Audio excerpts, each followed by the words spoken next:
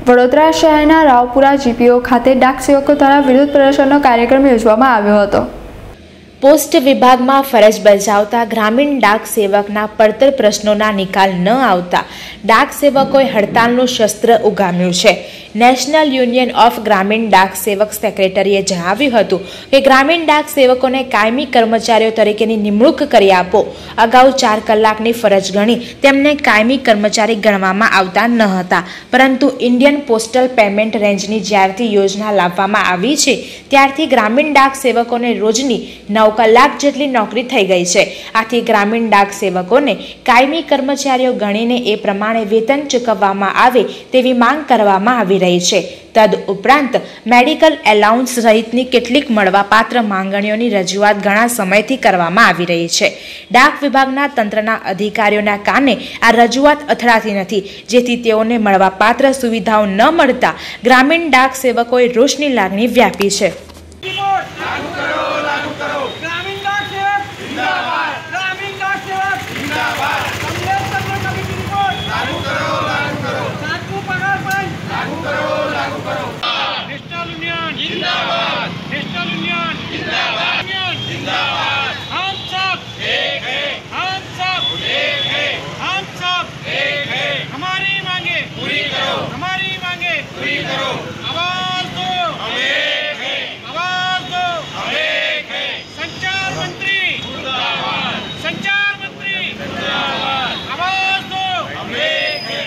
અમારે હડતાળ પર બેસવાનું કારણ એ જ છે અગાઉમાં અમે ત્રણ મહિના પહેલાં હડતાલ કરી હતી. સોળ દિવસની હડતાલ અમારી ચાલી.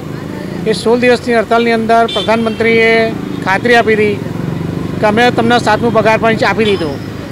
પણ માત્ર એ સાતમા પગાર પંચમાં દસ ટકાનો જ ફેરફાર થયો છે. બાકીનું કંઈ મળ્યું નથી, કોઈ અહેવાલ નથી કે કોઈ જવાબ નથી. જેથી કરીને વારંવાર અમે રજૂઆત કરી, અમદાવાદમાં આવેદનપત્ર આપ્યું, કલેક્ટરશ્રીને આવેદનપત્ર આપ્યું. દિલ્હી લેવલ પર જેની ગણના કર્યા છે, અમે સંચાર મંત્રીને આવેદનપત્ર આપ્યું છે. પ્રધાનમંત્રીને પણ આવેદનપત્ર આપેલું છે. પણ આજ સુધી એનો કોઈ નિકાલ થયો નથી.